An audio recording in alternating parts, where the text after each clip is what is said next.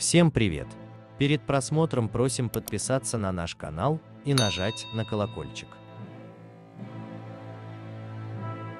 Около озера Перу, где шли поиски пропавшей актрисы популярного сериала Хорна и Риверы, найдено мертвое тело.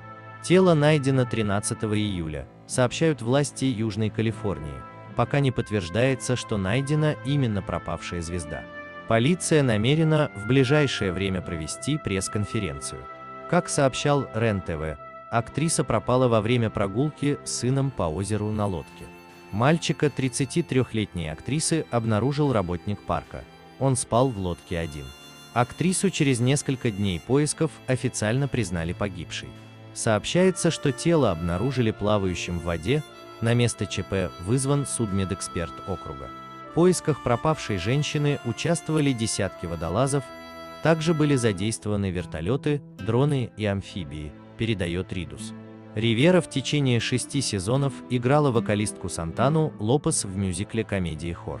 Это уже третья смерть среди актеров сериала. Канадец Кори Монтейт умер в 31 год в 2013 году от передозировки героина. Американец Марк Саллинг в 2018 году совершил самоубийство.